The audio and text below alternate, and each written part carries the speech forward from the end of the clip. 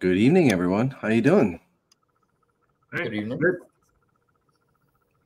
Jonathan? Uh, for people that don't know, we've only had Jonathan on one other time, right? Was it once or twice? Twice. Once. Twice. Okay. Were you all right? This is Jonathan Faber. Uh you do work for do you actually work for ILM or is it like a subcontracted company? No, I work for uh, Legacy Effects. Okay, okay. And and you do a lot of work for Star Wars movies and other we had a whole show about you before. Yeah. With with a lot of the work you do, which you Yeah. were very, very um what's the word, Jason? Modest. Overly humble. Yeah, really humble. Overly humble about some of the really freaking cool shit you get to do. Like and and Jason and I have talked about it many times how how subdued you are about it. But the rest of us are like, man, we wish we could do what you're doing. You know, so Yeah. Welcome What's to funny- the show. J- Thank you. What's funny, sometimes I forget. Like, what did I work on? Yeah. Yeah. And and when we answer when you we asked you questions about what you did, oh yeah, I did do that. Oh yeah, yeah. Yeah. Okay, yeah, I did do that. Against yeah, the that's right, I yeah, I do think I worked on that. Yeah. Yeah. I think so. You know, I'd be like, I freaking worked on this and this and this and this. You know, I, I do get it though, because I, I mean, I'm, I'm in no way comparing, but Chris, as you know, like working on certain projects, right? Sometimes people will say, like, oh, it's awesome that you worked on that. But what they don't realize is, and, and Jonathan, I think you can relate in this this manner, there's so many cooks in the kitchen, right? Oh, yeah. So you can't really necessarily say like, oh well, I 100% worked on this. There's just so many cogs in that little machine, and it takes so many people to make one thing work. I think that's where it becomes sort of hard to just be like, yes, this is what I did, and because you don't want to be that person who's like coming across as being too, you know, too much of a showboat.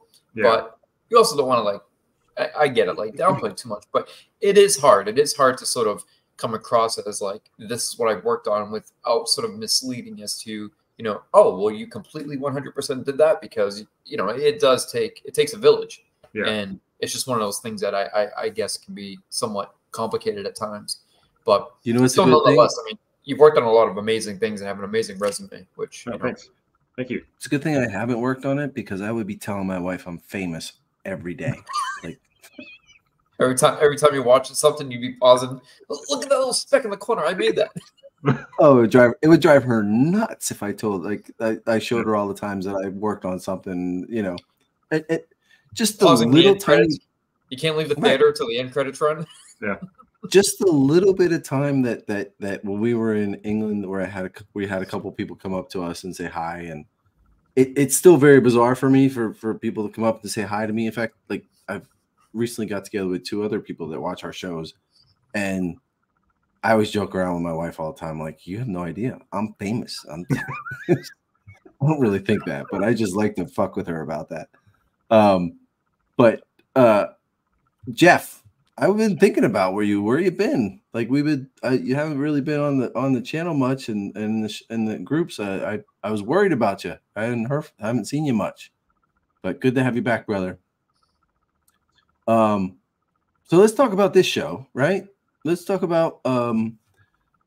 So this has been a show that you've been talking about, Jason, for a little while now. To give you credit, um, you had mentioned a couple times. Let's do a show about you know little little tools that like I use totally different tools than you use, and Jason, you use totally different tools than Jonathan uses. We all kind of use a lot of the same stuff, but there's always something that like I like to use that nobody else use like likes to use, or you know, that just make things easier for myself or for you as well, right? And I'm sure there's a lot of other guys in in in the group that also have tools that they would if they suggest it and we start using it, we'll be like, oh yeah, that'd be great to use, you know. Um, and I had you guys send me a couple pictures. Um, you know, there's there's the the usual basics. Okay, I mean, like this picture that I I use for a thumbnail. I mean, it these are the usual stuff like Yeah. CA glue and and tweezers and calipers. I, I I can't go without a calipers right now. I finally got one after months. I mean, probably I just recently got this maybe a year ago. I don't know how I got by with that. Um, you know, just this is the normal stuff, right? One thing I do use a lot that I don't know if many people do, is I use toothpicks. I have I throw away throw away thousands of toothpicks, right? I use them to to get in real close places with glue or to just you know put some glue on a little piece instead of using the bottle and getting a whole bunch of goop all over the place. Um, does any of you guys use toothpicks or anything like that? No, constantly. I constantly. I okay, use, good. Uh, I use little stainless steel. It's a little. It's actually a. Some of the images I showed you, the same company makes it. It's this little tray holds glue and has these tiny, thin stainless steel tips. I was actually using like sewing needles and pins to get the really fine. Remember we talking the other day, Chris, about like the styrene layers, Yeah. those fine Yeah. points. Um, yeah, I just got into the habit of using that, and I, I think I just kind of habitually got into it and never steered away from it. Um, the other thing about the different tools too that that's interesting is not just what we become comfortable with, right, and that we start using as our go-to, but everybody's working out of a different space, right? Some people have large workspaces, some people have garages, some people like myself, who's in somewhat of a high rise, if you will. Um, you know, I don't have a lot of ventilation or open space, so you know, I, I have to choose wisely what tools that I could use. You know, things that are caustic or or have heavy, you know, fumes, things like that. You know, I, I have to choose wisely. Um, also, space wise too, right? Um, you know, while my workspace is limited, I have to take that into consideration as well. So there's all these different factors that come into play. Um, also, different levels of expertise, things that get shared, and you try that out, et cetera, and you're like, oh, this works as well. So I just figured it'd be good all around just to kind of share some things that we do, and then hopefully people in the comments and as people see the video and watch it can start posting some of their their ideas. Um, Yeah. because when you work Yeah. on miniatures or studio scale or you know you're you're you're chiseling wood to make bucks or anything like that, I mean, there's just a wide array of things that I feel like we could all be you know exposed to and, and get more experience. Yeah, Chris actually on the group, he kind of kicked it off a little bit. Chris Gier, is it G I E R? Um, he put up the the styrene chopper, right? Oh yeah. And like days before, I was thinking, all right, I'm gonna use. I'm how can I rig up some kind of jig because I need to cut some styrene to the exact same length and stuff. And a couple days later, he puts that up. I'm like, oh, boom, I bought it. I was like, it's coming from Australia. I, I still haven't gotten it yet, but you know, there might be a lot of different tools that people can put up in the group, and like say myself, I'll probably buy a lot of them. You know, I'll uh, try each one, see which one makes it easier for yourself. Um, I will point out one thing. Okay, I I I w- haven't been home this week, so I couldn't take a lot of pictures of a lot of my tools. This is, and I don't really use a lot of different crazy off the wall stuff. Um, but I am in a hotel, and I bought this a while ago, and I was thinking, I don't know, I I figured I bought it, you know, just to use it in my shop. I never did. So I was packing up stuff to come. I have a bin of of stuff, tools that I brought to my hotel room so I could work on the sandcrawler because I got five days in in a hotel just to look, you know, watch TV, and I don't want to do that. So um, one of the things I I had and I didn't realize it, and it actually came in very very handy. So I didn't make a mess all over the hotel room. Was this nail dust collector? Right. Nice. Yeah.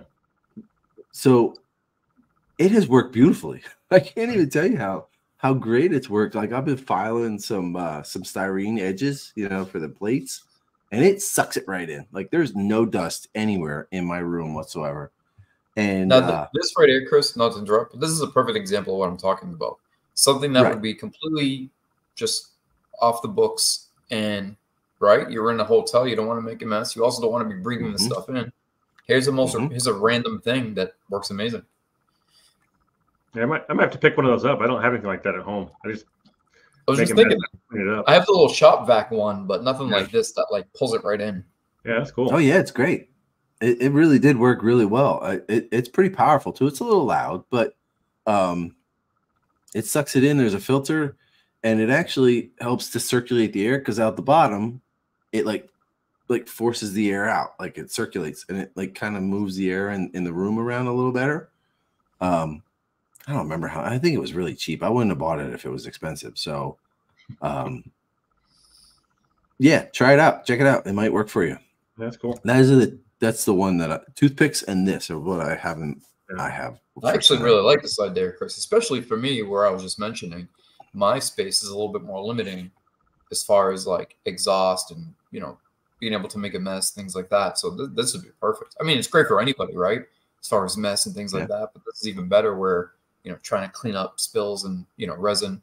And for most who know, I'm I'm obsessive with trying to get everything fine and neat and clean and sanding. So this this is even more so a great tool. Mhm. Yeah. Drives me nuts when I have dust laying all over the place. I gotta be honest. Like I I clean my shop daily. I can't stand it when it's a disaster. Like, and and when I do, like, st- it's by the end of the day when I'm like moving things around and doing a bunch of stuff, and then at the end of the day, I have to like stop what I'm doing because it drives me crazy. There's too much stuff that I'm working around and moving to get at what I want and knocking shit over. So yeah, this was this was one of those. I haven't used it. I bought it probably six months ago. It's been in the bottom of a bin, and I'm like, oh, this will work perfectly for the hotel room. So yeah. That's cool. Uh, let's let's bring up. You- Um, You were talking about the calipers. Um, I, I had to buy a second pair because I've got I've got my really good pair for work, and I, I just I was at home like I can't. I need calipers, so oh, I had to buy like a, Oh, yeah. a cheap second pair. I use them for everything. I use them every day. Yeah. It's tough though when you buy a cheap cheap pair, you notice the difference. Oh yeah, Oh yeah. Yeah. It's like it's Yeah. like a set of knives, right? When you have like the really expensive knives versus Yeah. like the knives you get at the department store, you notice the difference. I didn't go super cheap. Is there They were like something? forty or fifty bucks, but my good ones are a lot of money. Are, is there something that other than calipers that you use at work that you every day is just a staple? Yeah, I, I mean, I've kind of have to have a second set of tools for one for work and one for home because just so many things that I use that I can't really do without. And just simple Okay. stuff, you know, X-Actos and sanding and stuff like that. But Right. All right. Let's pull up. Should we do Jonathan's or Jason's? Oh, Let's do it Jonathan's first. Yeah. Okay. Okay. So help me with this, Jonathan. What is what what is this? I mean, I know what it is, but what do you do with this? Uh let's see, bring it up. This. oh yeah, so I use that. It's just a piece of angle, small piece of angle aluminum, and I use Right. it for uh, if I'm ever having to make a straight line on a tube or something, you know, like yeah, just a tube like that. Uh, it rights itself, so it's always perpendicular to the or uh, parallel with the tube, and so you can draw lines on it that are, or even scribe lines that are always parallel with the tube, so you don't have to. It makes it way easier. Mm. That would Simple work well on a the I like tie bomber. Yeah, I use it on a TIE Bomber, Yeah. Simple. and it's Yeah. it- I have a couple different sizes for different, you know, 'cause it, it'll fit a really wide range of tubes, but if it's too big or too small, like you know, I, just, I have a couple different sizes. I'll have to remember that when I do my tie bomber. I'm sure I won't, but I, I'll, I'll try my best. we, we should have opened it with the preface of get your notebook ready, right? Start jotting things Yes. down. Write things down. It's I'm Jason had asked if we were Jason had asked if we were going to put links in the in the um in the in the comments in the in the description, but I have to say mine. Well, okay, the the the nail thing would, would was from Amazon, but uh most of Jonathan's is not like Amazon bought stuff, right? It's a, it well, yeah. Yours, we'll get to yours, Jason. Uh, okay, so help me with this one. Th- There's th- double sided tape, right? Well, it's not. It's, it's something called butyl. Okay. and it's kind of thick and it is double sided. Uh, I use it at work constantly. I get through rolls of this stuff. Um, and what we use it for a lot at work is like I think there's a, I sent another yeah is I'll put Yeah. it on a like a, on a piece of wood or a stir stick or whatever, and then Mhm. I'll put attach I'll stick parts to it that I'm going to paint, okay.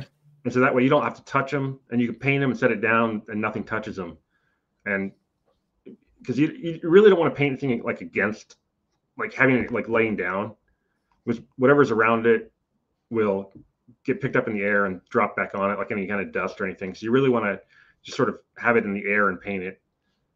And so the Okay. great thing about the great thing about the butyl is it'll hold it really well. But then if you grab, you see the end where it's there's not, nothing on it. If you grab that and pull, it's like those commando strips Oh, okay. Okay. where it'll it'll pull and then the parts the parts it'll just let go of the parts. That's what I was. That's what I was Hmm. curious about. I was going to say. Uh, You answered my question, but how do you how do you get it off? One thing I use, uh, two things, either for painting and or putting something temporarily in place. I know a lot of guys use masking tape, right, to just kind of hold it in place, get the measurements. I actually use framers tape. You know, when, like when you go to a framer and have something framed yeah. double sided Yeah. tape, because it's heavy enough to to hold most things up to five or plus pounds but it pops right off when you're done. So if you have to hold something in place and or paint something, and like you said, you don't want to put on a flat surface where it sticks or debris debris will catch. But I tend to usually need um, I have to either let it wait for it to dry and use a little tool to lift it. But this is even better, the fact that you can just yank it, and have the piece Yeah, kind of just come done. Yeah, if you're dealing with like really small, intricate pieces, you just pull the butyl and it just lets go. So you don't have to put any pressure on the part itself, trying to get it off, break it, or whatever.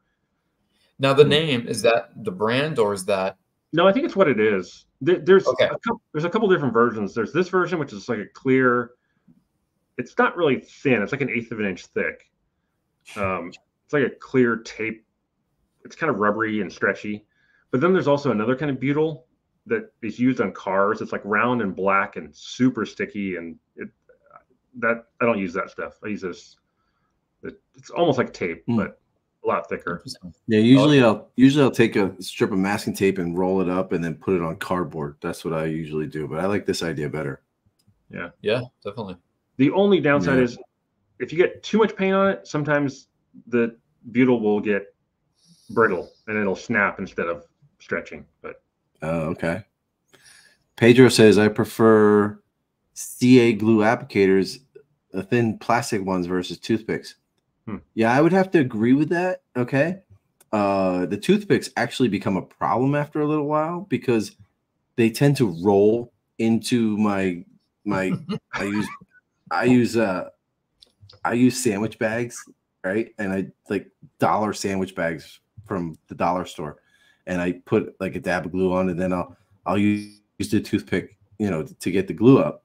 And it never fails. My toothpick ends up rolling into the glue and all the glue gets absorbed into the toothpick. But yeah. the good thing about it is the toothpick is like it's like a thousand of them for a dollar. You know, like I could just Well, throw like them out. effective. Yeah. But I could also Yes. picture John that I could picture Chris like this, like yeah, with scissor hands. Oh, yeah, Start yeah. cutting and trying to get them off. Or I'll grab the wrong side. You know, it always happens, never fails. you know what I do, what I do never for glue fails. is uh, those little espresso cups you can get, little paper ones. Yeah. Uh, let's put those upside down and put put the glue in the back of it. Ah, you know what I should start collecting?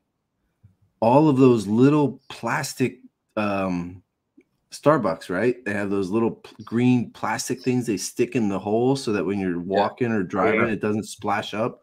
Yeah. I just take them and throw them out. I should start collecting them and start using those. Yeah. That's a Man. great idea. Yeah. Some of- some of the things you wouldn't think of. Now, when we get to my pictures, not not to try to hijack the conversation, I did a lot of just copy and paste of some standard tools, but still ones that might be a little different. Only because I mean, we kind of had this little random earthquake here on the East Coast, which was which is interesting. But we just got nailed with a nor'easter yesterday. No internet, no electricity, etc. One of the reasons why we kind of rescheduled the show as well. Um, but real quick, I didn't have a chance to take pictures of like actual items. Um, but one thing that I use that comes in really, really handy for two reasons on, on both ends is you know Pringles, but they have like a little snack size, right? Like this yay big. So if you get the little snack size cup because of the shape of the Pringle, so for the inside, it's great for like using for water or mixing paint or solvents. But then you flip it over and it's got that divot, the Pringle divot, so you can put glue and other things there and use it as like a little scoop and a little. it- It's it's just a. I, I alwa- anything like that I always Cool say because I feel like I can yeah utilize it for something else later.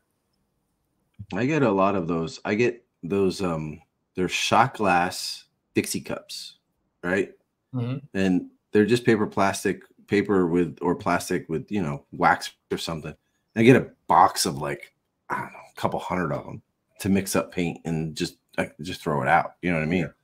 Yeah, that- Um, that's what I'm talking about for like the glue. I, I use those and flip them over. Those, so, so there's like a little, like a little indent in the in the what is normally the bottom, but becomes the top, and when you flip it over. right. So next picture is scribe tool, right? Yeah, that, that's my scriber. It's a, it's actually a pin vise, and then I just chuck up a scribe in the end of it. And I couldn't. Now, how, Okay. hard, how hard can you go on this before it starts to dull out? oh, it doesn't. Oh, really? Okay. Yeah, I've never had it dull. So it's like a dental tool. You just keep Yeah, going with it. Really? Nice. for for a million dollars, I couldn't tell you where I got that scribe, but uh, Oh, that's that one tool that like you can't lose, huh? yeah, yeah. If, if I if I can't find it, I like, oh my god, where's? Like he doing one of these. Yeah. It's super sharp too. Yeah. Like it'll. I've poked myself with it a few times. Hmm. I'll check one out. Check pin vise, huh? Yeah, and if you don't have a pin saw vise, of you got to get yourself a pin vise, especially if you're building Okay. Star Wars models. Pin vise will be used for scribe the scribe tools, right? The scribe No, it's tips, actually- or do you use it for other things as well? Well, it's actually a little tiny drill. It's you chuck Yeah. up little tiny drill bits. Oh, yeah, that I have. Yeah, That I do have. Yeah, the little hand one that you just twist with your fingers. Yeah. Yeah. Yeah. Well, that's a neat little handy. Okay, dyno dymo tape. That's that's a good one for Yeah. scribing. yeah, yeah. Little little guy. I bought these this scribing.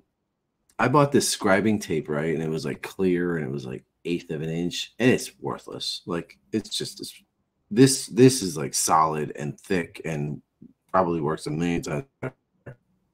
It works pretty well. It's cheap too, and it's. Of course, my problem with scribing is I always go like, you know, it's like the Tootsie Pop commercials or whatever, where it's like one, two, and then, you know, try to. I get Yeah. impatient. Yeah. well, what's really frustrating is you'll be doing it and then you'll do it nice and slow and slow, and then you think you got the groove okay, right? Your and then when you go to scribe, all of a sudden just right off the Oh. rails, just It's like a record. and like not only Yeah. So not, not only just a little tiny bit, we're talking like a whole inch of of of past the, the line for some unknown reason. Your brain don't function fast enough to stop it. At least mine doesn't. Oh no, when you jump the track, that's it. I Oh. mean, there's even times where I've done it deep enough where I've had to take like some putty and fill it in and Yeah. you know, like yeah, nice little yeah. gouge. And I'm like, Oh yeah. Oh yeah, that's annoying too. Oh yeah. I actually just learned about this recently from you, Jonathan. Remember, I was we were talking about that because I was using scribe tape as well, which I feel it works pretty decent. Um, the one that I buy, but the the dynamo tape is is fantastic because it's it's so rugged. Yeah. It's it's really stiff. It works really well. Yeah, and it stays Okay, in place. It is doesn't this? Th- This is I actually use this for what it's intended for, but uh, it's meant for for jewelry. My wife makes jewelry, and it's the so the three rollers sort of come together to form a triangle. And if you have, it's a wire straightener. Okay. Oh, okay. So if you're doing any wire, you just put it in, sort of fold the other two rollers around it, and then pull the wire through it, and it'll make the lower wire look like the upper wire. Get Ah. out. I'm, Because how many times that. are you trying to form something and bend it, Yeah. and then you All end the up tossing out the rest because you've you've kind of manipulated it too much. But if that, yeah, that's great for repurposing or just making nice Yeah. straight clean lines. Yeah, It's a, it's a tool she totally turned me on to. That she, that she had one. I was like, oh, what is that? She's like, what's a wire straightener? like I'm trying to figure one. out how it how it works. Well, it just kind of feeds through like a pasta maker almost, right? Well, Yeah. it- if you you sort of like it's sort of if you lay it center on that center roller, and then the other two rollers come up to form a triangle, and it cap- Oh. captures it in between like all this, three. yeah. Yeah, Oh, okay. and then you just hold with one hand and pull the wire through with the other hand. That's interesting. Yeah. Maybe we do need to make a list. Does a good job. I'm telling I'm going to keep these pictures in, on file so, Yeah. so I know what to get. Might have to even Yeah. do a part. Yeah, I mean, we'll get other people on here to get their ideas on what they do. Even This, of- uh, Here's, yeah, sorry. uh, no, go ahead. I was just bringing up. Um, I'm not. Um, I'm gonna try. I'm not gonna try to pronounce the first name, but Winlord heat tape for for electronics makes a nice crest chest scribing tape that is more flexible than demo to tape. Heat tape for I'm not sure. electronics. I was gonna Hmm. say, um, sometimes some of the most simplest things because you just get so used to like. Because I remember, um, was it uh, some of the art? Remember we talked about some of the archive X where the consistency some are thicker than others.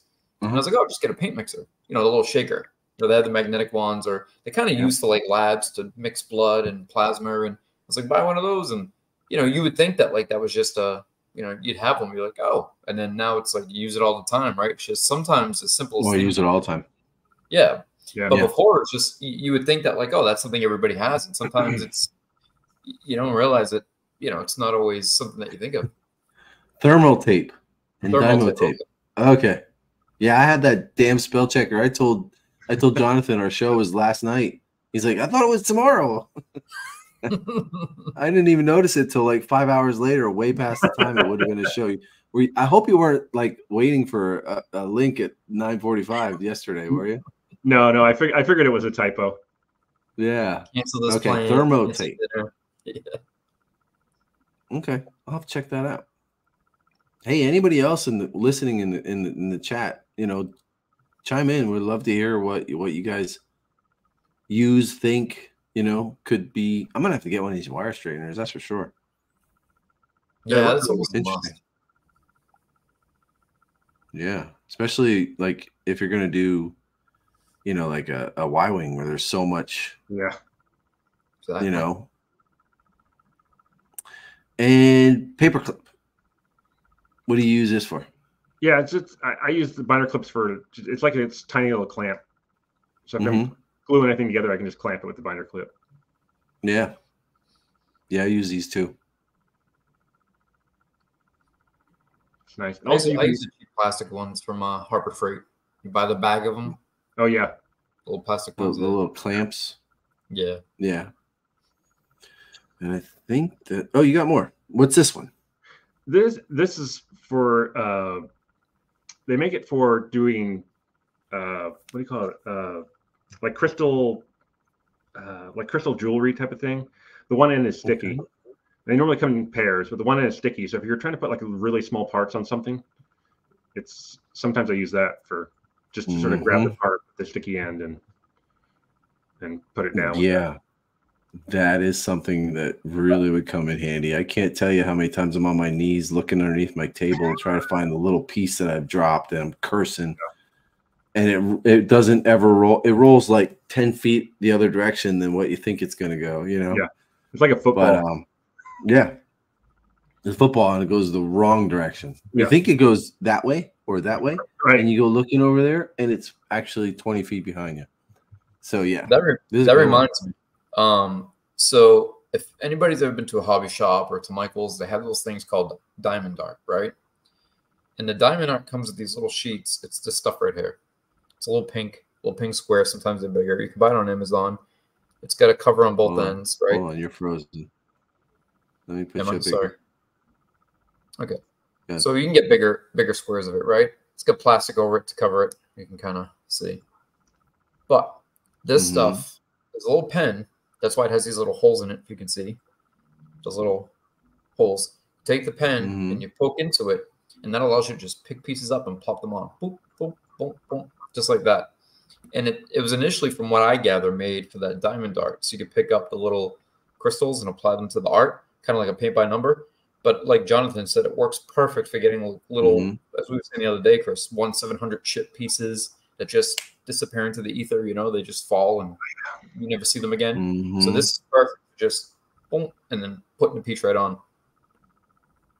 that's cool I like this one especially, Jonathan. You gotta send me a link to what these, where to get these, what they're Alright, yeah, called yeah. specifically. I'll do that Yeah. What's the what's what what's the other end used for? Well, if you have two of them, you can uh, use the sticky end to put a piece down, and then use the other end to hold it as you pull the the Mm. stick off. Oh, okay. I didn't really think of that. Yeah. And these are like matchstick sizes, right? Or they They're- a little bigger. They're bigger than that, yeah. Those are one. Those five are one inches. square. Are those five inch? Yeah. Okay, so then it's five inches. Let's see, uh, But you could, that gives you good Windlord. room for like reach around too and getting to different places. wax pencils used in nail salons are perfect for picking up small parts. There you go. Yeah. Because they do the the Yeah. nail art. Exactly. Yeah. Yeah. I actually bought. Um, go ahead. Oh, the other you thing I'll John? do is uh, the other thing I'll do, which uh, is I'll just take my X-Acto and just stab the part. Yeah, I do too. I don't like doing that because sometimes I push it too far through, Yeah. and then when I go to put it on the piece, I'm actually like it won't go flat because I've I've have the the tip going through too far. tip going through, yeah. And then you're losing it when you're trying to Yeah. shimmy it off. Yeah, yeah, exactly. Yeah. well, Speaking of nail salons, I in my paint booth, I actually bought um on Amazon real cheap. I think like ten bucks. They sell a little acrylic um nail nail polish holders, like shelves for for for nail polish.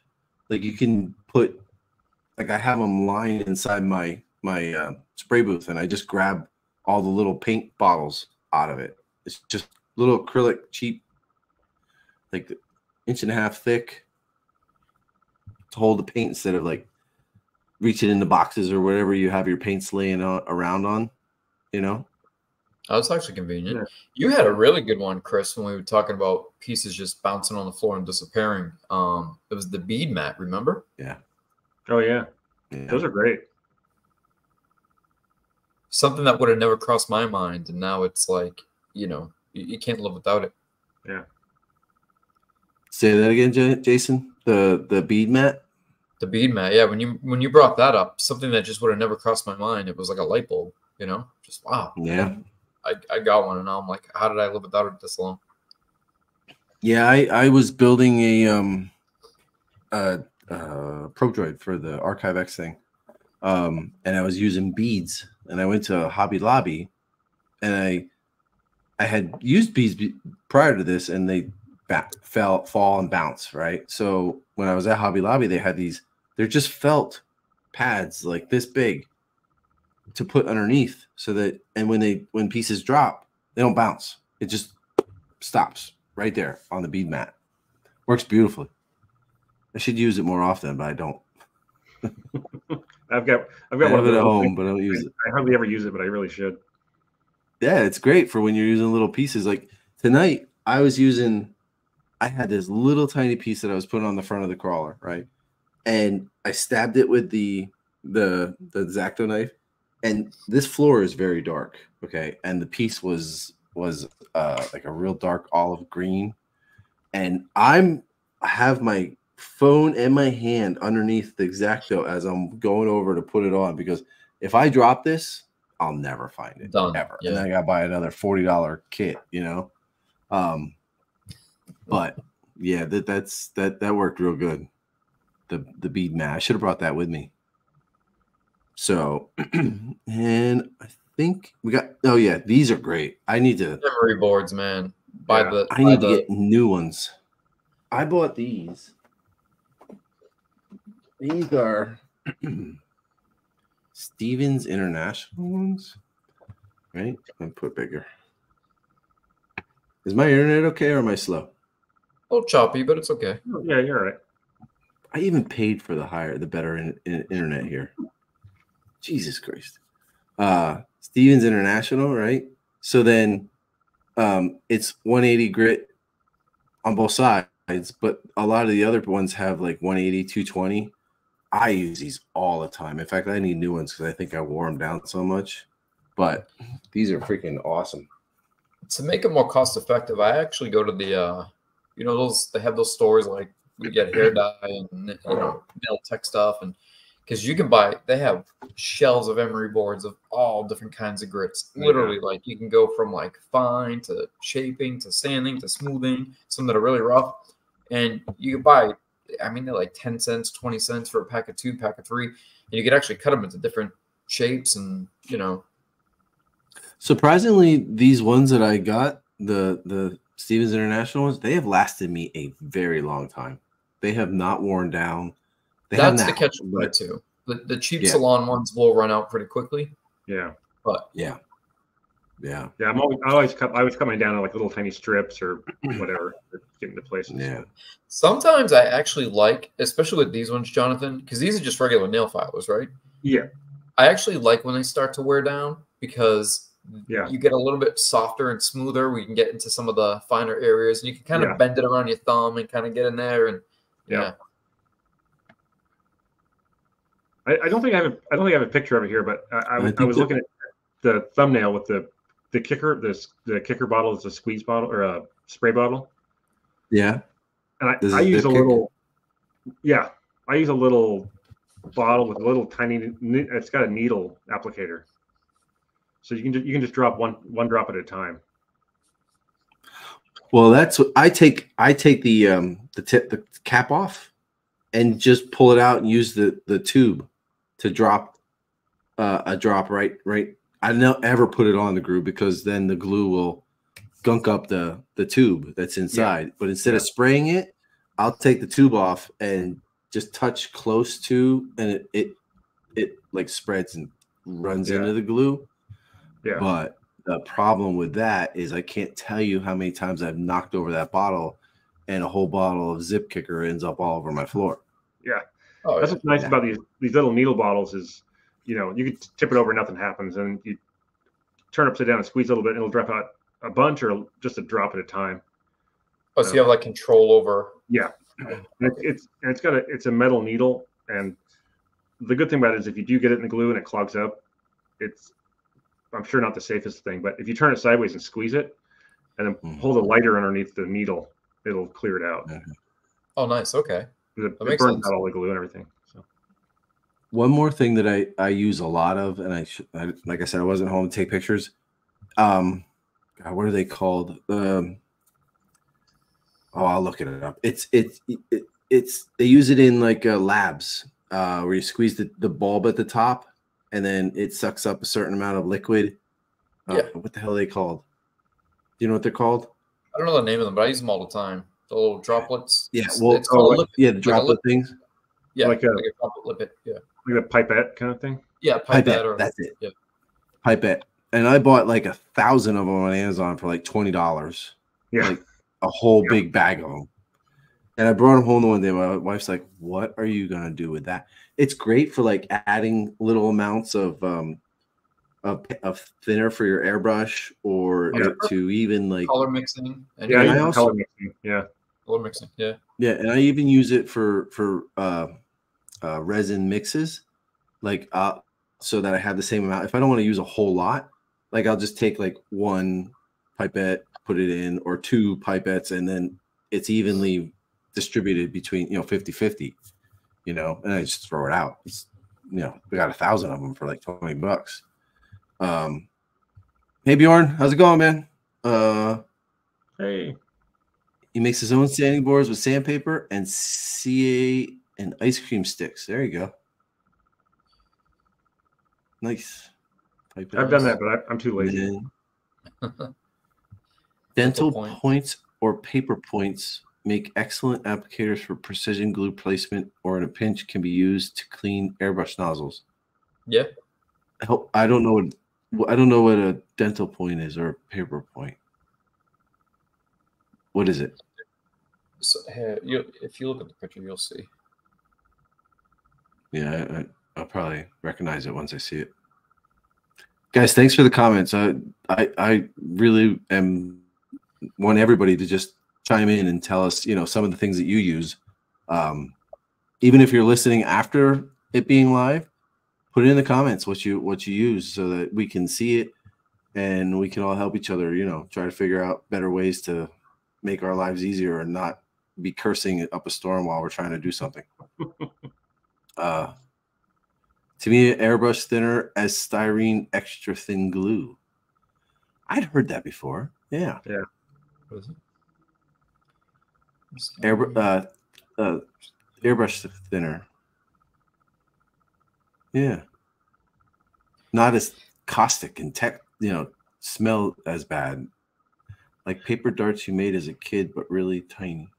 like these, Chris. I don't know if you if you remember. Hold on, my don't know if you remember these. Similar to that. Oh, I've seen those. Yeah. I don't. I don't think I've ever seen those. I mean, there's different variations. But okay. Um, it's funny. No, All right. Let's bring up. What? Yeah, you can take me off the screen. I was gonna say something I use often where I have, you know, um, the space isn't very ventilated, and uh, you know, I'm not working in a large outdoor space. Is someone might laugh, but know those uh, puppy pee pads? They're blue and then really absorbent. You know what I'm talking about? You Yeah. told me this before. Yeah. Yeah doing you know painting if i have to like you know if i'm um, if i'm in like my back utility closet or you know at the kitchen counter or anything it works amazing or i'll even tape it up and if i'm spraying something you know it'll just catch it and plus it's great for testing so if you're just kind of like spritzing different colors and things like that it's it, it- they're just great to, to work with and they're great to work with underneath so if you're dropping things dropping paint dropping sauce especially me because i mix a lot of paint i do a lot of paint mixing it's great for just catching a lot of things because it's one, it's super absorbent, and then the disposable. So when you're done, you just wrap it up and toss it out. Yeah. What I love about this is we're coming up with ideas that are just like household items that are cheap Yeah. and throw Yeah. easily disposable. Um, less that you have to clean up. Like I, I, I don't want to have to clean everything I use. You know, I get straight in the garbage. Um, but like these are all like household, I real cheap, like dollar stuff. You know, I have dollar store next to me, and and I use I go to it all the time to buy stuff like this. You know, um, Well, we can all agree to this. Sometimes it is it isn't even about saving money, right? Sometimes it's just about you're working on something, and if you don't have supplies, you just look around the house and start thinking, MacGyver, Yeah. like, what can I use? Yeah. You know, what can I Exactly. like? This is like you said, the dollar store, right? This is the type of stuff I love getting at the dollar store. Little cups like this for paint mixing, and you know what I mean. Like, exactly. just Yeah. just perfect. And then you can also because they're hard plastic, you can use them for you know scratch building and whatever. I mean, it's just all about figuring out like what works in the moment. I can't tell you how much stuff I take from Mhm. like I'll go into my wife's room and I'll take around with like makeup bottles and whatever, and I'm just like, oh, this will work perfect for this, and I'm gonna cut this up for this, and you know, it's like Just, just don't get caught. you- Mhm. Hello. Okay. Um, one thing I I do um when I'm when I'm scoring styrene, I don't like using X-Actos for scoring styrene. I think it's too either flimsy or just like not. Yeah, it's controllable, but it just it's too fine of a tip, and it could go to a to a rot, you know, out of the out of the way. And also, it's like a very you know just a pencil. You know, you're holding a pencil. I use one of these things. I just utility knife, Home Depot. Just I have more control over it, and I've been using these for forever. You know, I, I was an electrician, so I, I I use these more more proficiently than other stuff. But this is what I, I use to score styrene. Yeah, I, I use a, a snap off blade knife every once in a while. Okay. All right, let's get to Jason's list. Now, Jason, this stuff, some of this, you have you'll have to really explain some of this stuff because some of this stuff looks like alien abduction violating tools. I gotta tell you, I was like, I was like, what the hell is this? And what is that? Like, I expect to see this coming at me if you know when when they come down to get me and want to probe me. You know what I mean? So yeah, right, so I- this- I, mean, this is obviously a camera, right? Yeah, guys, believe it or not. All right, so Chris, as you know, I, and most won't. One of the ways I learned to build very quickly. So I, I, I- had a lot of experience with with art and creativity. I've, I've been painting for years, things like that. But as far as building models specifically from scratch, um, the way I learned very quickly was reverse engineering, having a model next to me, and then basically learning how to replicate that. Right, I did that with uh, an ATST, a chicken walker. I did it with a, a TIE fighter, and I'd basically look at what I had and build it next to me. Well, sometimes you don't want to break down an entire model, or sometimes you just want to. All right, perfect example: sandcrawler. Right, you want to know where certain areas are, what something looks like, and things like that. I also have an issue with my vision. I have I have poor vision.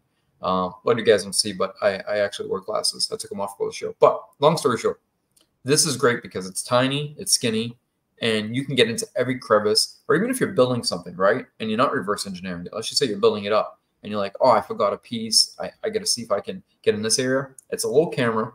It's kind of like an endoscope. Like if you've ever been to the doctor and had an endoscopy or something like that, or you had to snake something, it just goes right in and it gives you a nice, perfect picture and it plugs right into your phone. You can buy them on Amazon for twenty dollars, and it is a great tool. I love this thing.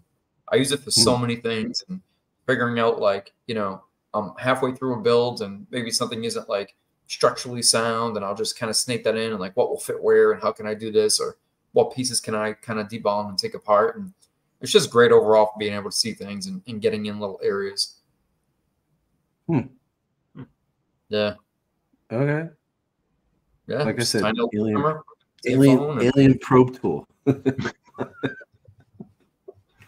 I, I, I, I could like, I could use this for. I actually could have used this to see what was in my wall the other day because I was trying to figure out what how I'm going to run something, and I wanted to see if there was wood down the wall or uh, in my way when I was trying to fish it. But it, it's cheap on Amazon. It's twenty bucks. You can buy them for 20 $30, depending on the brands. They're all they all do the same thing. I mean, they they have fancier ones, but you don't really need it, especially for, like right. mine. Mine's covered in glue and and paint, and it's just not. You know, I I buy them cheap just because like I know they're gonna take a beating. Um, I use them for like even like if you have an armature and you want to see how to snake wires and things like that, or it's just it just comes in handy for a cheap tool. Pedro says, "Never in my life." Reminds me of my last colonoscopy. they're smaller than you think, guys. I mean, they're listen. It's I no got a funny. Oh, I know I shouldn't say this, but like, like I I just recently like got an endoscopy, right? And they they said, "Well, you're here and you're of age, you might as well do the other end, right?" So I'm like, "Fine, whatever." So the doctor comes. I think I told you this, Jason. The doctor comes in. He's talking to me. He's like, "We'll make sure we do the endoscopy first, so you don't wake up with a funny taste in your mouth." it's like, "Thanks, doc." I was like, "Really? I, I really didn't need to hear that." So yeah, that's good humor, though. That's definitely good humor. It's basically yeah. basically what oh, it Stuart is. Stuart, hey, Stuart. Hey guys, my two tips. Never trust someone's blueprint. okay. and sever never trust your own blueprint. Also, cardboard is your friend. I use cardboard all the time. Like I, I you're talking card, he's talking cardboard as in like shaping panels. Um I use cardboard like I I take boxes that I get from Amazon, cut them up, and use them to to tape stuff to to paint, and so I can like hold it and move it and turn it around. Um, yeah, cardboard. Oh, to, okay. I use to. I have something on my tool that I use for that, but I didn't. yeah, he uses it. He uses cardboard as as a uh, template, basically yeah. for his his styrene. Stuart, I got to tell you, man, if you're still listening, I have been watching your videos, and man, you ah, your building is is gorgeous. It is. Yeah, we, were just talking very, about it the other very night. Very nice. Yeah, we were talking about you the other day, and and uh, I don't I, I don't even know how you're gonna paint that thing. Like,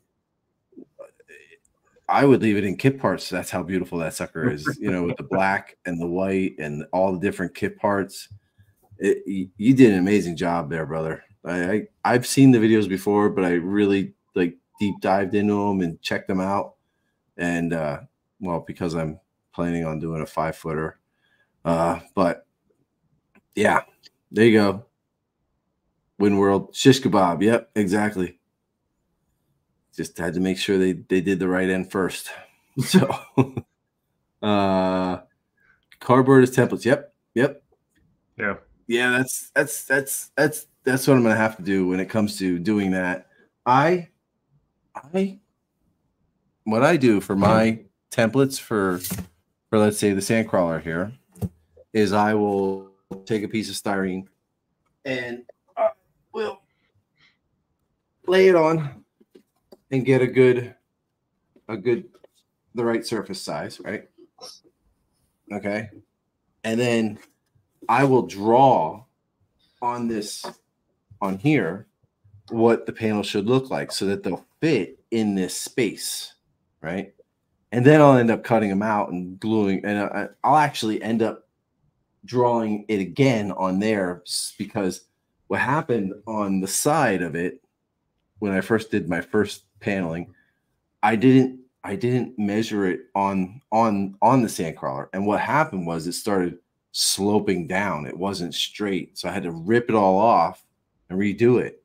So I actually draw it on a piece of styrene, and then draw it on the the actual model, and cut the pieces of styrene and put it in place, so that they don't like start going in a direction because a lot of these you have to keep like some space in between, right? So if you don't keep it the right way it's supposed to go, you'll lose it. Like it won't stay straight. So that's how I do mine. But I think uh, when I start doing the Falcon, I'm gonna have to use templates like you do. So, and he's doing another five footer, right? Yeah, for John. Yeah. Yeah. Yep. Yep. So yeah, I just got his um his uh shells um from from a friend and I wasn't planning on doing a five footer, but now I have to. So, all right, back to Jason's alien technology. now Oh, this yeah. is Alright, so obvious. These these came up when I was working on the B wing. All what a right. nightmare. Okay.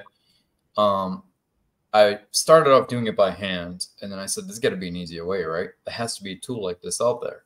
But I realized there actually wasn't many. Surprisingly, um, I found a maker on Etsy. I think I, I, maybe these, maybe somebody knows better than I do, but I couldn't find them anywhere else. I couldn't find them at a hardware store. I mean, it might be common knowledge. I just didn't know that. I found them on Etsy, and there's two different versions. There's ones like this that create like that little tooth, right? A little bit of that sawtooth look, and there's ones that just do complete perfect squares and rectangles. Yeah. And when you're doing something like the Falcon or the B Wing, where it has tons of styrene with notches in it, you can just click, click, click, and just cut away. And for 15 bucks or whatever the investment was, man, they just they work perfect. And Well, they go the square- styrene perfectly. the square one they used a nibbler. It's a sheet metal nibbler. There's actually a brand, but you can find it on eBay. Um, you can get the old one or a newer version of it. It's it's a nibbling tool. Um, I've never seen. Do you do they use on the B wing? Is there these? Uh, No, but what's good about this is, unlike the nibbler, it allows you to make different cuts, and then you can then just with an X-Acto knife shape it, make it wider. You know, kind of Okay. angle it a little bit if you want to do like a you know 60 degree or 30 degree angle. You already have that pre-cut, and then you're just kind of straighten it out a little bit. Did you watch uh, um, Adam Savage's video when he was making that that air that uh, wing with some plating on it? He showed it Oh, yeah, nibbler in there. Yeah, Yeah, yeah. He sho- yeah. It just it, he showed it in there.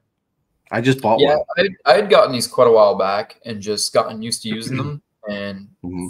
just found them super easy and comfortable to use and just easy to kind of manipulate after that. Um, Yeah. So yeah, I just kind of stuck with them, and they were they were pretty cheap and they held up. There was a couple. You didn't put them in this list, but there was a couple scribe tools that you had mentioned before that I that I wanted yeah, to I've look gone into. through I, I've gone through quite a few scribe tools, um, and I, I like them in varying degrees and, and different levels. Like I don't have a go-to like Jonathan. I wish I did. I haven't found that one piece yet that I fell in love with. Um, but there's different ones that I've used in different projects. I mean, like if you look at the TIE bomber, scribing on that is unlike any other piece. I mean, that's just a lot of scribing, deep scribing, etc. Yeah. Um, some other pieces you can just scribe with an X-Acto knife. You can just, you know, take any particular tool you want and, and scribe with it from there. But uh, making pattern tool to the notches and starting fucking big learning gearbox doors. Oh, he found the Yeah. specific pattern. Yeah. And that's the thing, Yeah. it's that right size and that right pattern and and you know, because even with the nibbler tools, you only get like a specific size out of it, right? It's, it's Yeah. giving that, that one cut. Where Yeah. same with this thing, it, it does the same, but at least you can you can manipulate it a little bit. Yeah, yeah. The one I, I I never used a nibbler before. I wish I had it. I, uh, there, I haven't had to use a nibbler. I, I haven't had to cut notches out of the sandcrawler at all until the front here. Now on the side, I'll have to do it. I'll have to do it. There's very, very few notches, like on the Falcon on this sandcrawler. So, um, leather working tools also translates nicely to our hobby. Yes, it does. Yes, I think leatherworking, nail nail tools. Um, there's there's quite a few, and as I mentioned prior to the show, what actually kind of jumps out of the idea for the show was um, medical medical medical. Um, I don't want to say equipment because that kind of um, implies like monitors and things like that, but just medical supplies are very durable and meant to hold up, but they're very pliable and easy to manipulate. Like if you're doing a ruler, for example, and you want to measure something that's round, we all know that they have the bendy rulers and you know you have your um we were just talking about them earlier the uh, calipers things like that. But it's just great to get a quick gist and you just you know wrap it around make your markings and you know kind of go from there. Um but yeah but there's a lot of other fields where you can take tools that just do carry over nicely trying to get a tool out of my little box here. Two of them. So I got these um clay clay um sculpting tools at at at Michael's and they have little little spatulas on the end and there's a bunch of different sizes. Those are nice for, you know, putting putty in and stuff. And then I also use this tiny tiny little flat aluminum ruler and it really I use this to putty everything. Like I just nice you can little switch scraper Yeah, press it down scraper. right get it in there Yeah. Yeah, it gets in there real good. It's easy to clean. Like this I use to putty almost everything. You like my nails, Jason? yeah but i can picture good. that being one of the tools that's like always by your side Oh, this one? Yeah, I use Yeah. this for everything. And the thing that pisses me off is I use this little container to hold all my favorite tools, right? And I can never find it in there. And I, then I start flat. freaking out like, where the hell did I leave it? It's flat. it's flat. Yeah, it just like it's either on the bottom or it hides on the side it's hard to find. It's even hard to get it out of the out of the freaking out of the toolbox too. Let me get rid of this. So yeah. All right. So what do we got next? Uh nibblers.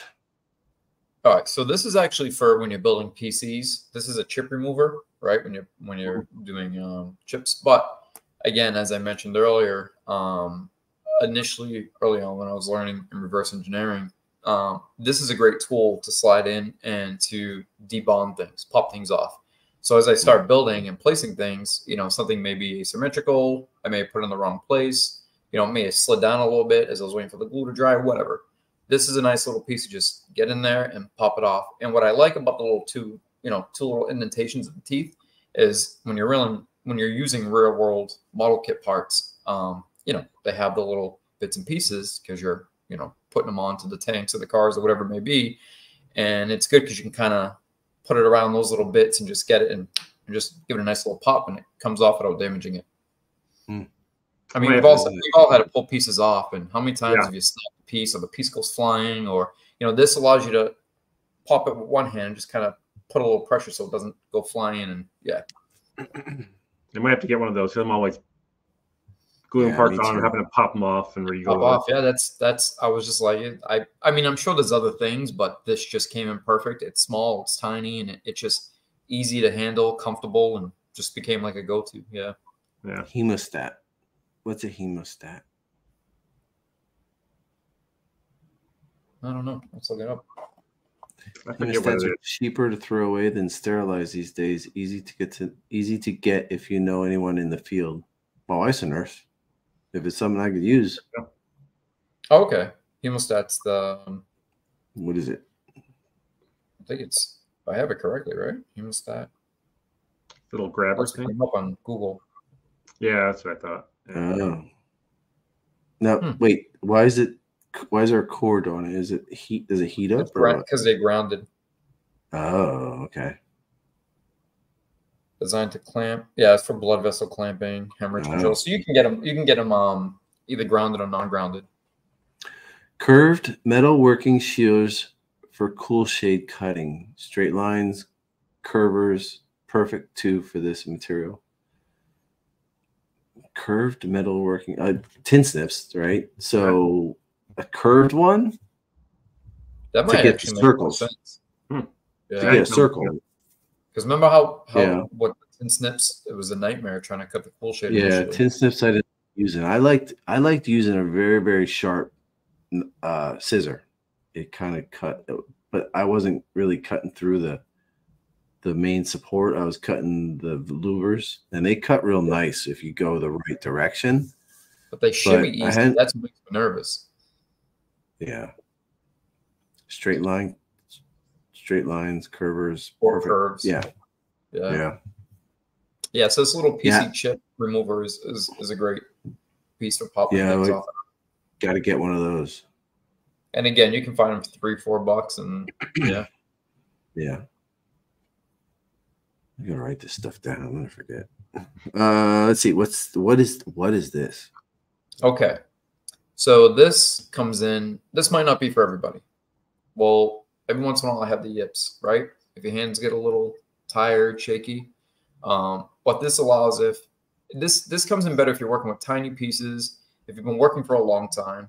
Um, you know, Chris, you can probably relate to that because sometimes you go for hours, or even Jonathan, like if you're working on a project, um, if you're doing decals, if you're doing like any type of like, you know, photo etch pieces that you really have to like line up and get into finer detail.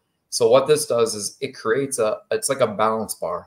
You ever see people who do like Mhm. oil painting and they have that bar, so when Yeah. they're painting, touching it or resting their hands. So it allows you to keep your hands solid and in place. So you're placing that detail, that photo etch piece, and things like that.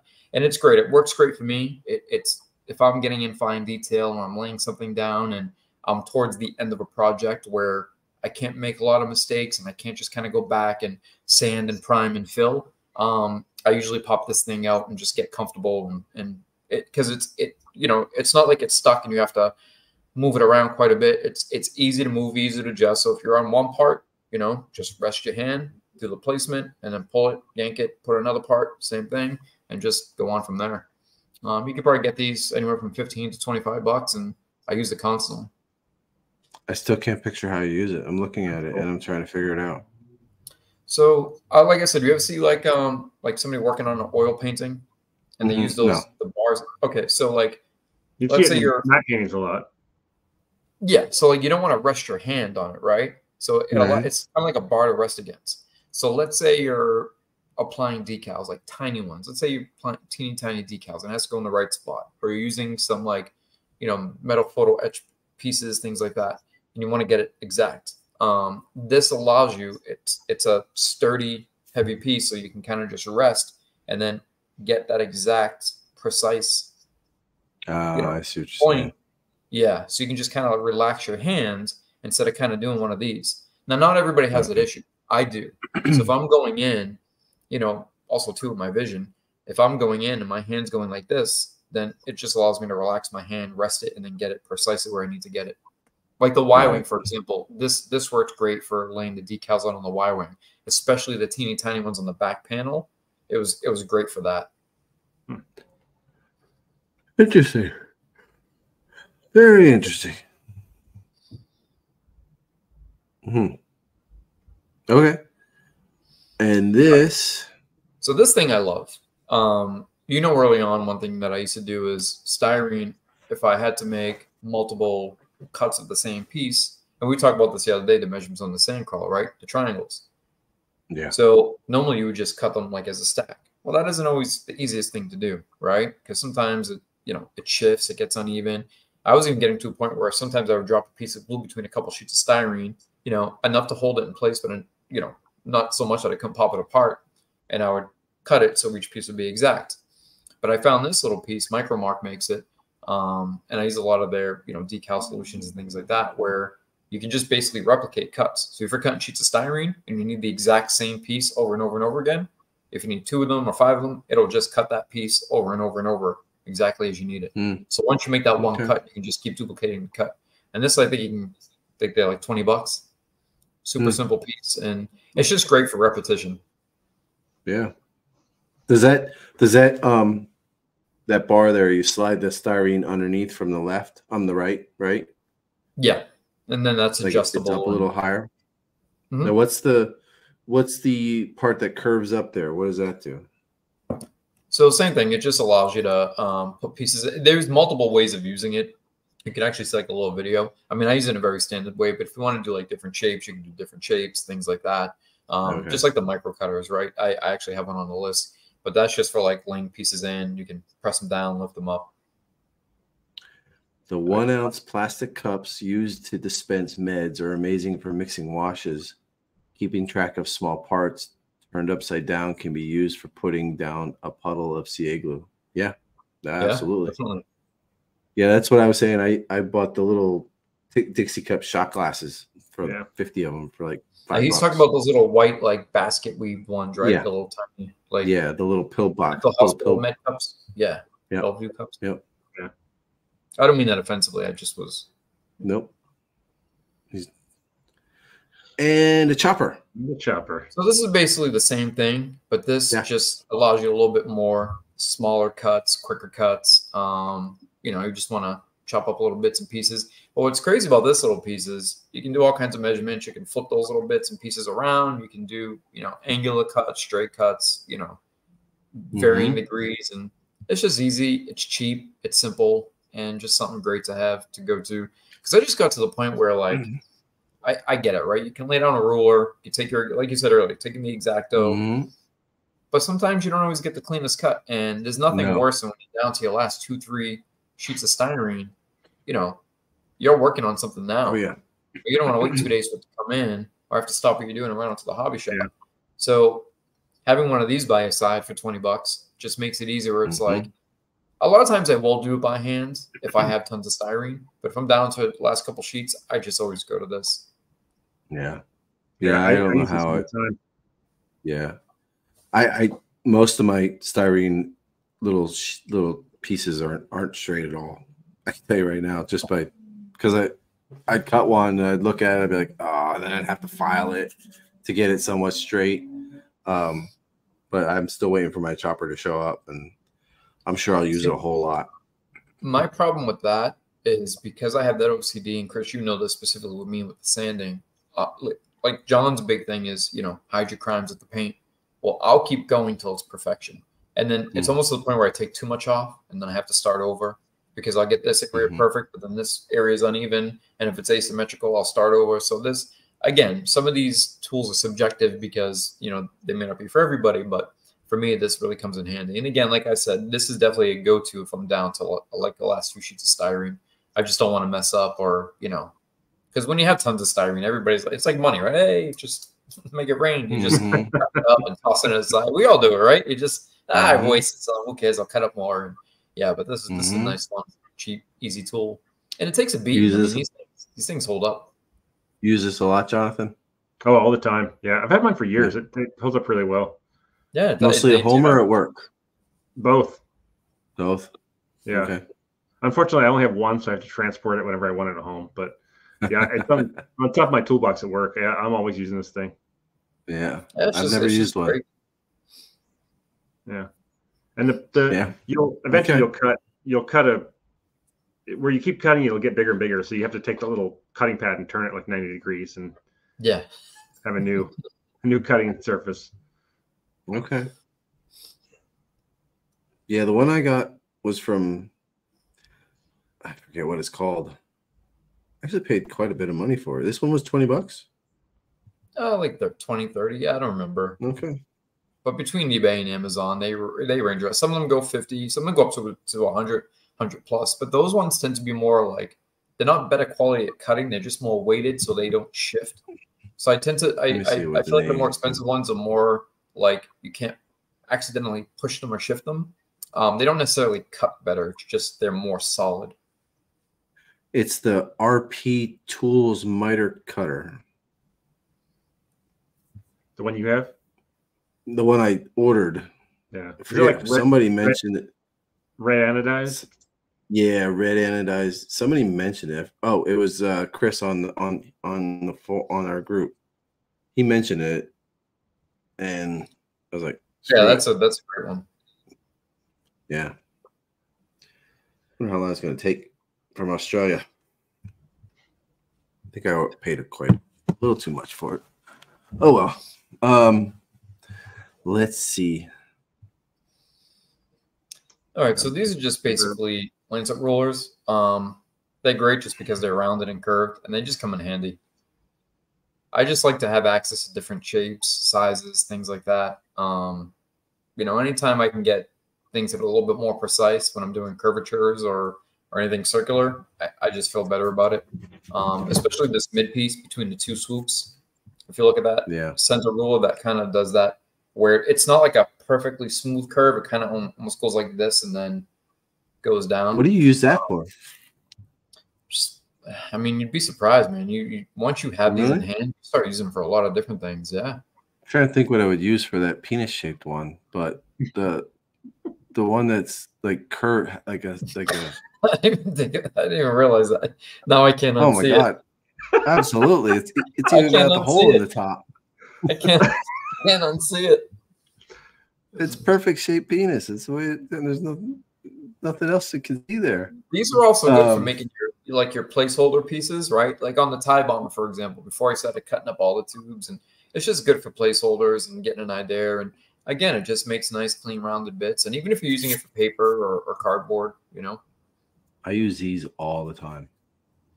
those are great, but you're limited to the smaller circles. Where this, you have the No. RA.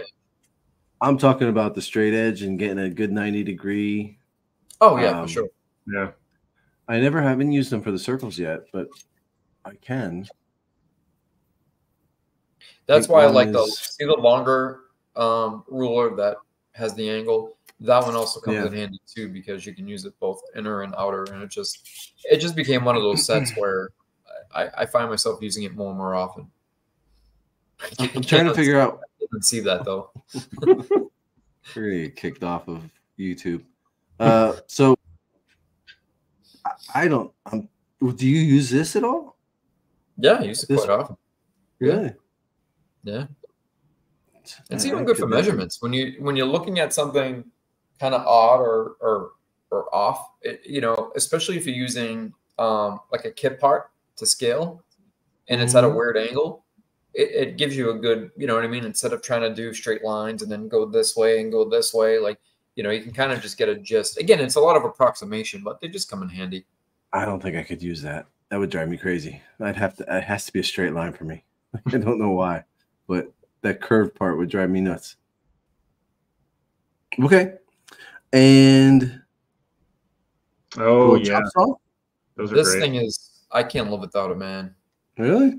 What do you Yeah, use it for? they're About great. a lot. for cutting brass tubing. Ah, yeah, it- okay. all day, all day, Yeah. Really? and it Does it cuts make a like butter. mess? Ah, it's not too bad. I'll have to get one of these because I use the the the plumber's uh ream Yeah, like yeah. circular tool. I don't know what it's called, but um for plumbing, I use that one.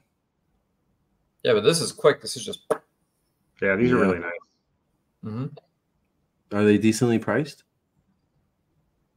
I mean, I may be a little off, but same thing. I think they're in like the 25 $35 range. But again, too, uh, there's different varying levels of quality. Yeah. Um, yeah. You know, I'm just working on personal projects. So a lot of these things, I buy the lower end ones and they hold up. And then again, they're cheap enough where if something does go wrong, you just buy another one. Like we like we talked about with Harbor Freight. Like I'll go through Harbor Freight and find tons of stuff I Yeah. can use on this stuff. Just- like use what you cheap. can for as long as Yeah. you can and then just go rebuy it yeah exactly but Yeah. this this is great because what i was what i was initially doing it what i started off um, when i was more inexperienced um, i would clip them and then i would you know have to reopen the hole and kind of sand it down i'm like Yeah, this is ridiculous like this is just you know so rudimentary what am i doing and then started Yeah. using this yeah I the never uh, saw the Proxxon one. one is really nice. The what? The Proxxon one, it's really nice. You get it, um, uh, Micromark. Oh, Yeah. okay, Michael Mark. yeah Got it. micromark has a lot of great stuff Yeah, especially for cutting. it's, it's just got a great, great set of of interesting things to, to cut quickly and, and and cleanly and evenly. Yeah, Yeah, I could sit and look through a Micromark um uh catalog for hours. oh yeah. Yeah. All right. So what's next? I don't know what this thing is. this is just a circular cutter. Um, you can Okay. adjust it. you can go in and out. So just it basically just cuts circles. So if you need circular styrene, half circles, half moons, cuts, quarter Mm. cuts, just cut circles. I like that idea. Yeah, that's I'll nice. forget one of these. Yeah, and this again, just a nice, easy, quick. It just keeps Hmm. the process smooth and efficient. And you don't really have to do much measuring. You don't have to, you know what I mean? You just take a ruler, whatever you need to do, inch, inch and a half, half an inch, just clean cut. Little to no. My biggest thing is if I can avoid having to go to it and do any major cleanup, that's the thing because like I mentioned earlier, I tend to go, I tend to focus too much. Oh, this is a little off. Let me keep sanding. This is a little off. And the cleaner I can get things, the more efficient I am personally. Mm-hmm. Yeah. Okay. That's a neat little tool. Yeah. Is this another? Oh, it is a sander. This is Oh, for sanding, cool. yeah. Yeah. Oh, okay. This I don't find myself using as often as I thought I would, but when I do use it, it definitely makes things easier, quicker, and and it's a little bit more satisfying, better than doing by hand. Um, um, my thing with sanding is I do a lot of it. Again, a lot of some of it is just that OCD sort of perfectionist mindset, which I I'm, I'm really trying to get away from because I'm noticing that it's not always in my, you know, it's not always in my best interest especially working on a lot of Star Wars models. A lot of them are so asymmetrical and kind of you know yeah, haphazardly can't slapped, slapped together. You know, you don't want that perfect surgical look by any means. Um, but I'm still big on on sanding tools, and I've gone through quite a few, um, whether it's by hand or or things like this. But this does you know come in handy from time to time. It's just not something that I always have at my desk all the time, like the cutter tool. Like that's something that's always by my side. This I'll go to it when I need it, but you know it's still good to have, and again, cost effective. Nothing here is more than seventy five or hundred bucks. I there was um s- somebody posted on the other day um that they made a jig to sand a curved angle. Oh yeah. who The TIE was. bomber. Saw that. Yeah, for the TIE bomber. Yeah. And I like that idea. Like it's just basic and you know, it gives you a nice curved edge and gives you a uniform curve. And even Yeah. when Stewart was sanding his um putting his um like walkways and um the uh what are they called? The not the the um underneath on the Falcon, the big section that you have to the curve then you have to get the right cut for it to be to form with the body. He put some sandpaper down on that spot and just sanded it to fit into that little into that specific area, you know, um to get the exact curve of the body of the sh- of the ship. I was watching that. Yeah. This this uh, won't quite get you there, but almost like this this can get you you know pretty close to that. What I used to do before is I would just get sandpaper, use the again the framers tape, which um, there's varying levels of framers tape. There's some that's like almost like super glue, um, Mhm. and then put a piece of sandpaper down and just kind of scratch the piece over it. But this comes in a little bit more handy if you're trying to be more precise and, and get things a little bit more like you could see as the example piece how clean of a cut it's making it at that you know at that angle. But yeah, I see in a lot of RS videos they use like they have like what happened? Hello? yeah, we can. completely lost my screen. Yeah. Okay. Um, they have like sanding. It's almost like a paper towel, whole like a like a paper towel like core, and it's a sand sandpaper on it, and like like to get into round Yeah. edges and stuff. And Yeah. like I don't think it's something that they buy. I think it's something they they kind of just makeshift. make. Yeah, Yeah, it's definitely make- Yeah. You know, All right. speaking of Oh. speaking of sanding, Chris, you were talking about trying to having a hard time getting stuff flat when you're sanding it. Yeah. Yeah, if you if a trick I learned is if you sand in a figure eight pattern, it really helps. Oh yeah, I Yeah, I that. my problem is that I I put too much like I think I have pressure on all sides, Yeah, but I end up putting too much pressure on once. Even when I do like a figure eight, right? Like even when I do like circles, even I'll put too much pressure on like certain fingers, and then I'll end up with a, you know, like Yeah. that. Yeah, that's It's what like the back of your nuts. shoes. Yeah, you think you walk Yeah. normally, but then you realize Yeah. one's more one than the other. Yeah. Yeah, but if you do if you do like a, a figure eight and then every once in a while turn turn the part you're sanding and do it again. Okay. It, it, Okay. It'll help. Yeah, I'll have to try that. Yeah. 'cause Yeah, it's so- frustrating.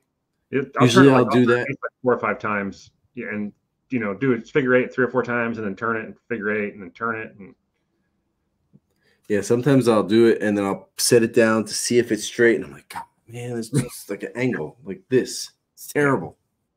So Now, as, uh, we're going s- through these images, as we're going through these images, one more thing I want to mention for anybody who's listening or will be listening.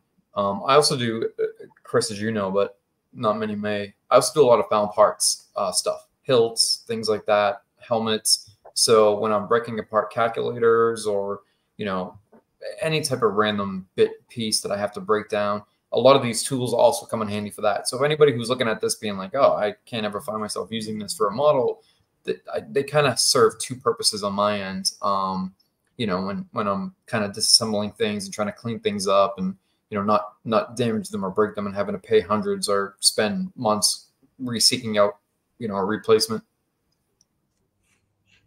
I'll tell you what I really want, and they're exceptionally expensive. Are those little vibrating um X-Acto knives? I forget what they're called. Sonic Oh, yeah. cutters. yeah. Sonic cutters, I yeah, won't- I love those. I want one so bad, but I don't really want to spend the four hundred dollars on it. Yeah, there was a really Kickstarter. I they are really expensive, and I there was a Kickstarter not too long ago that had one for like 150 bucks, and I, I at the time I didn't have the money for it, so I was like, maybe I'll get it some other time. But that's something I really want. And my dad actually sent me a, vi- a video of this, um, you know, like the like Instagram. It was this guy showing how to he uses weird ways to make tools. So, you know those um multi tools, those vibrating multi tools that have the different heads. He Mhm, showed yeah. to to sandwich a, a a a razor blade in between it to use it like that, the same way. But it's just so big and bulky. I need something tiny, smaller to get into little spots rather than this big, like, you know, two inch wide thing. Um, let's see what does Stuart say here. Uh, I also bought a small vacuum former from AccuVac off Micromark. That thing is still going, making parts like Falcon. Oh, Hmm. I really want a, a vacuum former. I'll have to look into that, Stuart. If you think if you say that one works great, like that Falcon cockpit cone is big. So yeah, So that's the problem with my vac former. It doesn't do it doesn't have a lot of of real estate. It's for just small bits. And that's the thing I regret. Yeah. Um, had I known better and, and done more due diligence ahead of time, I probably would have made a different choice. It works great, but I you just it's not enough for him to do much. I'll have Or, to look uh, into that. Like, Our vacuum formers at work, we either have a little tiny one that's like two inches, or we have one that's like three feet. It's like oh, Oh, that thing must Okay. be fun though, huh? nothing in between. I'll have to get Stuart to vac form a Falcon cockpit for me. We'll talk, Stu. Uh, all right, next. What is this? Oh, This is a and- scriber, um, but it's a parallel scriber, which is good. And Oh, it's okay. also just more for like it, it serves two purposes, but it's also more just to make sure you get a little bit more precise and exact, but you also have a better handle on things. So you know how you're saying Mhm. like jumping the track using the X-Acto knife? Mm-hmm. This really helps avoid that. So if you get, you know, your first few lines going, that allows you to keep going without jumping that track. Um, Mm. Again, I don't really use this too often. Um, I use this more for found part stuff. If I'm doing like helmets or kind of taking apart other bits and pieces and having to make certain marks or, or lines. Um, but I did I I did find myself using this on the TIE bomber a little bit and found that it was pretty efficient. Okay. What is But if anybody Lord, anybody's curious, it's just it's called a parallel scriber. the, Yeah. the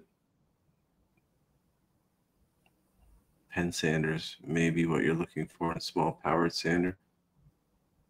But the How do you how do you say that say brand? the spy, the, whatever that brand is, this and the Yeah. other piece that like the hand rester, that's that brand. Um, which they make a lot of great tools, Chris. I, I have a lot of their stuff, which uh, you'll Do you? see more as we go through. Yeah. Yeah, the next one I was wondering what what this thing is. Oh so yeah. this is Okay. basically for like I guess photo if you want to just simplify it, photo etching.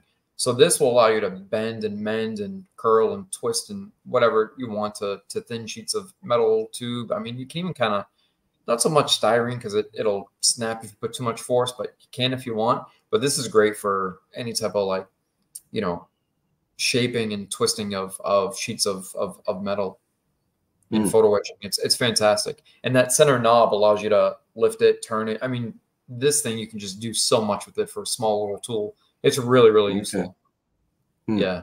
Never seen it. I've never seen anything like that. Yeah, it's it, it's a great tool. Just I like. I use that a lot. What is this? Again, Oh. so going back to sanding, Sander. So Oh, this is for getting in and now we all use those little like needle sanders and shape sanders and you know all the stuff you kind of buy off the shelf but the one thing i notice about those is those wear down very quickly unlike an emery board or a professional sanding board um, those don't really hold up so if you're trying to get a corner right or even like the metal you know the metal ones you buy at like Lowe's or Home Depot they have the square Mhm. they have the triangle those Mhm. tend to wear down quickly and sometimes they're even cheap enough where they just break um, Mhm. this thing is great because you have all the different shapes. So if you need a nice angular corner, sort of something rounded, this thing I just found for me works fantastic. And you can also do it Hmm. as like surface surface sanding, which is great too. Like you were saying, you have that trouble of like keeping it steady. So if you're working on like a molded part and you're sanding it, one may be like higher up than the other. It might be uneven. Mhm. This- This is good for that.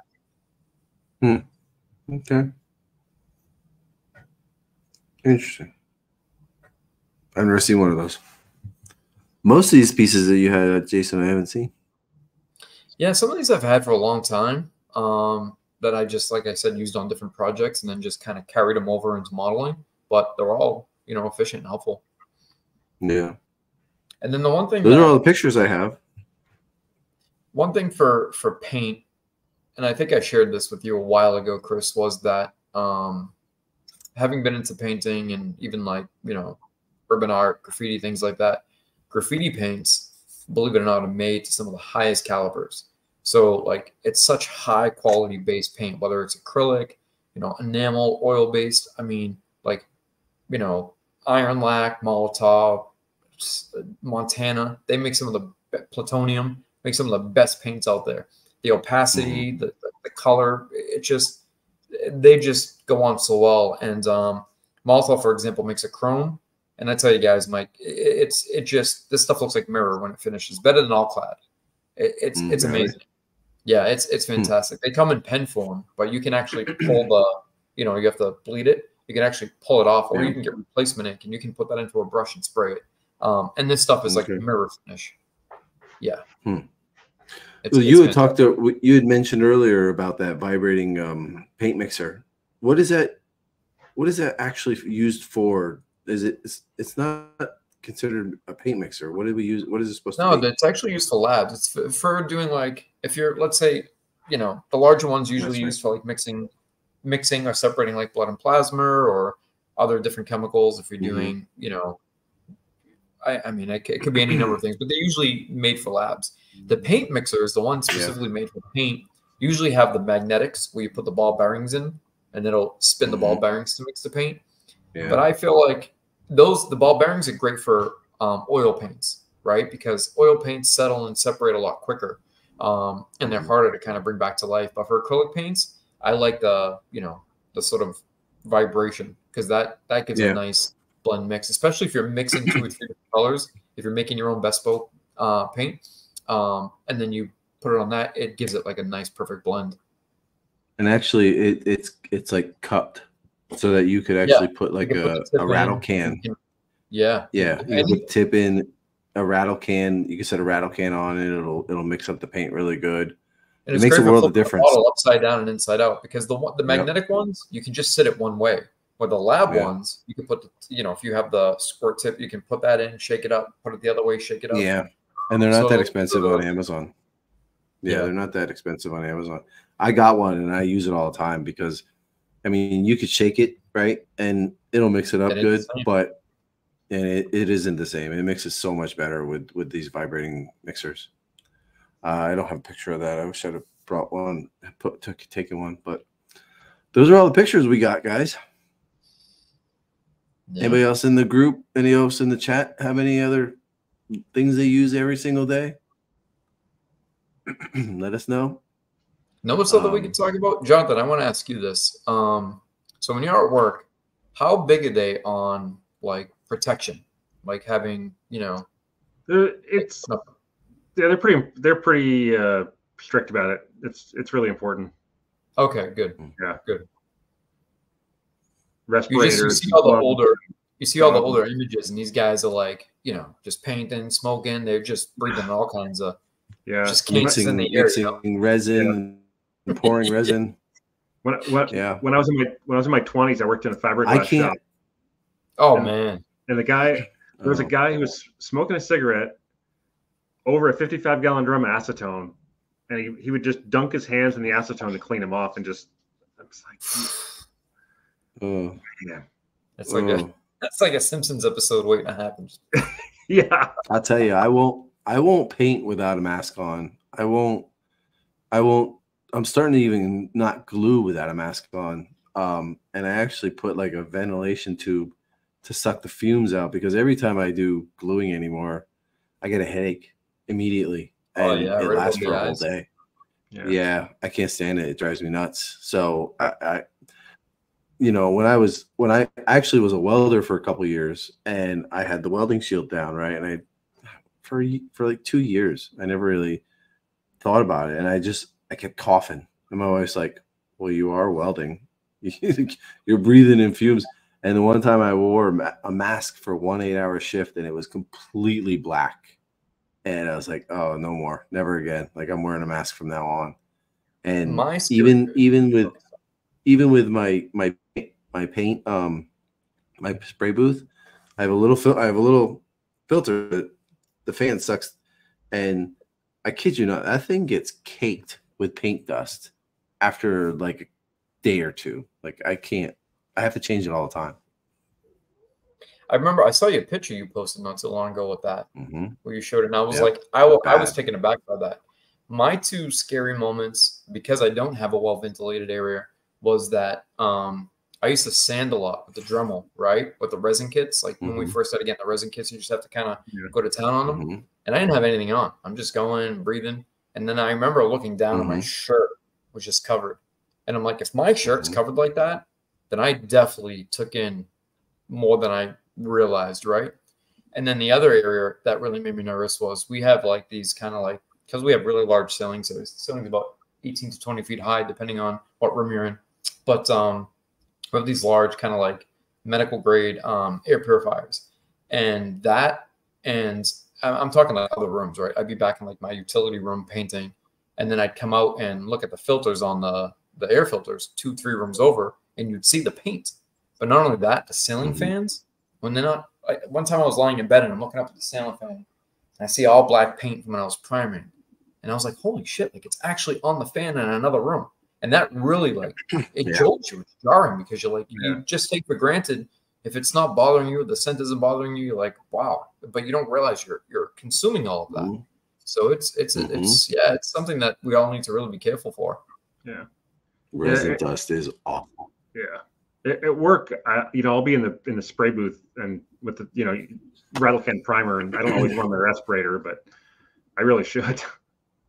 But I mean, it's, it's got you know, it's a big, huge spray booth, and it's pulling a lot of air through there. But still, yeah i pretty much Yeah. use mask for just about everything now yeah. Yep. Well, I think that's a good spot for us to finish. We've been doing talking for an hour and a half, and we, you know, I'm sure there's a bazillion other tools that we could discuss. If you know, maybe we'll have to do this again Yeah, a little bit part two. later on down the road, part two, because you know we can even bring somebody else on and and and have them sh- talk about. Everybody's got different things.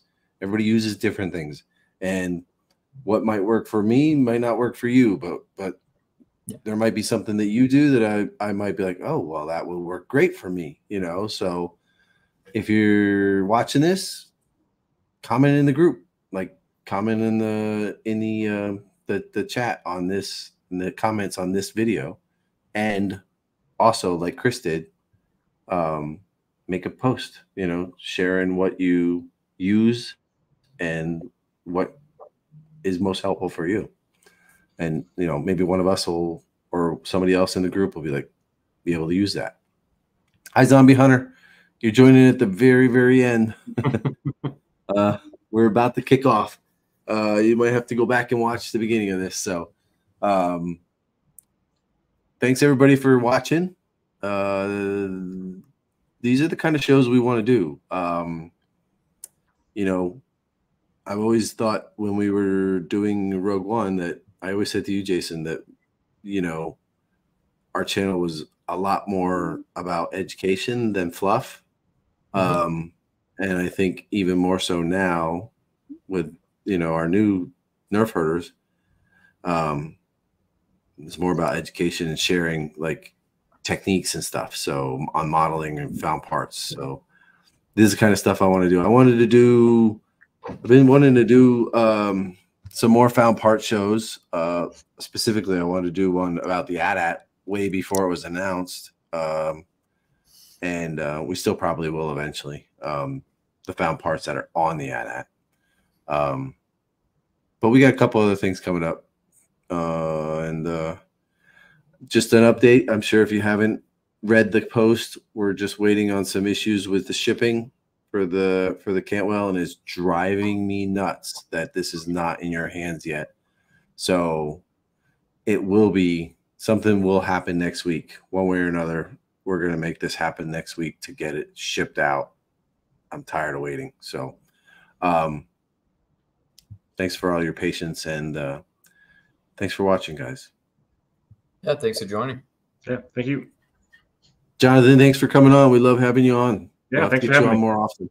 Yeah, definitely. Our schedules don't always coincide. Like Right. generally mornings are best for me. Sometimes evenings I can do, but uh, a lot of mornings are better. But you're you're oh yeah, they're Pacific. We could do before you could join before you go to work. yeah, That's right. You said you would. Yeah, sure. Okay. All right. Well, signing off, and uh thanks for everybody for coming on. And let me see the outro. There we go. Bye, guys.